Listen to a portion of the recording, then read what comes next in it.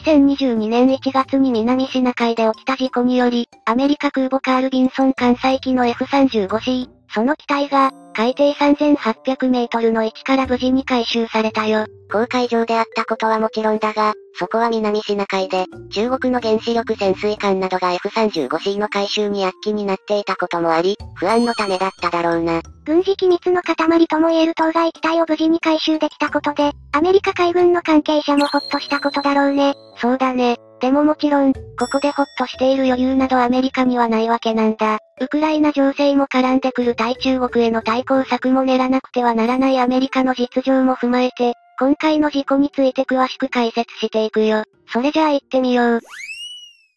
ことの発端は、2022年1月初旬にアメリカが行っていた訓練中の出来事だったよ。2022年1月18日には、日本近海に3個空母打撃軍 CSG、1個遠征打撃軍 ESG、1個療養即応軍 ARG が配置されている異例の状況が生まれており、中国に対して大きな牽制を行っていた最中だったんだ。さらに驚くべきは、今回の訓練行動に参加したアメリカ海軍の原子力空母、その数はなんと3隻、地中海で中東関連の任務を担当するハリー・トルーマン CVN75 を除いた、残り3隻がインド太平洋に集結している状況だったんだから、これには多くの軍事アナリストも驚いていたみたい。ちなみにこの3隻は、横須賀に全身配備されたロナルド・レーガン CVN76、インド洋で作戦行動を終えてから合流してきたカール・ビンソン CVN70 は、フィリピン付近の南シナ海に姿を現したことが確認されているぜ。そして1月10日には、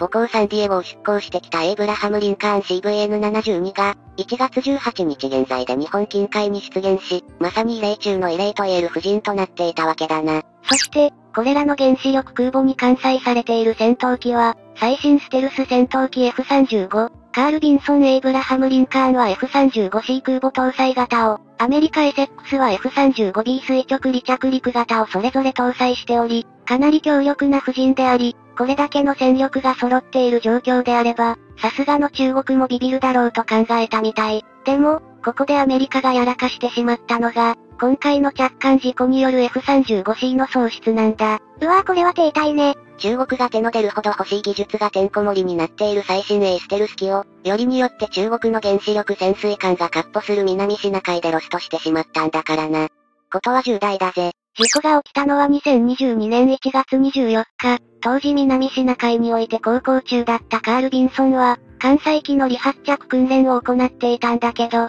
訓練終了に伴って着艦しようとした F35C ライトニング2が着艦に失敗して、海上に落下、そのまま水没してしまったってわけ。実際の事故の様子が、空母の陸民員が撮影したとみられる映像によってインターネット上で公開されると、まさかここまで公開されるのかとネット民はかなり驚いていたみたい。実際に事故の様子を振り返ってみると、事故を起こした機体はかなりの高高度から侵入しようとし、やり直しを指示されたにもかかわらず着陸を強行した結果、空母の飛行甲板に激突するように着艦して発火しているよ。その際、車輪などの膠着装置が破壊されたとみられ、そのまま火を吹きながら飛行甲板で停止することもできないまま、アングルドデッキの先端から海中に落下、その直前にパイロットは緊急脱出したんだ。海面に落下後、しばらく浮いていた F35C を撮影した動画もインターネットに流出していたんだけど、やがて壊没してしまったため、アメリカ海軍が周辺海域を捜索する羽目になったってわけ。パイロットが無事でよかったし、それが一般的な反応だと思うけど、アメリカ海軍の関係者は一大事に大慌てしただろうね。何しろ、水没してしまったのはアメリカにとってブラックボックス軍事機密の塊とも言える F35C の機体。それがもし、公海の海中に没したのであれば、その捜索から回収までには相当の時間と困難を要することになっただろうぜ。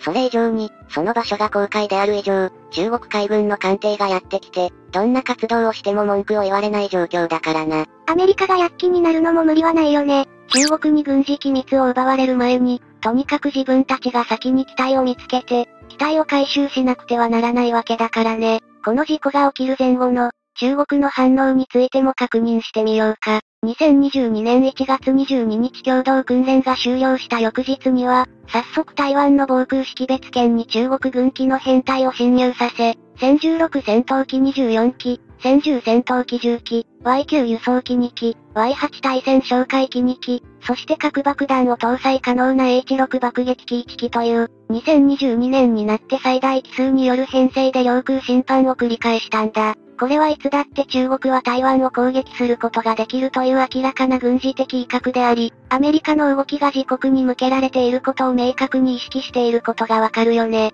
だけど、F35C の事故について、中国政府としては正式なコメントは発信しなかったんだ。事故が起きていることは明らかに知っているはずなのに、知っていることを明かさない。この中国の態度に、アメリカは明らかに恐れをののいたと思うな。実際にアメリカ海軍の関係者の中では、知っているくせに言わないだけとか、アメリカよりも先に機体を見つけているのではないかなどの声も上がったらしいよ。中国政府としてはコメントを発していないものの、中国共産党中央軍事委員会機関紙いわゆる政府よりの新聞である、解放軍法が、アメリカの行った訓練について論評を掲載しているみたい。その論評ではハリコの虎では人を驚かすことはできず、わずか半年の間にアメリカ軍は原子力潜水艦を破壊し、先進的な戦闘機を墜落させたと述べており、欲を出して失敗する行為はすでに国際的な笑い物だと述べているよ。原子力潜水艦の事故とは、この訓練が行われる数日前に南シナ海で行動していた、アメリカ海軍原子力潜水艦が何かに衝突して艦首を破損した事故のことを指しており、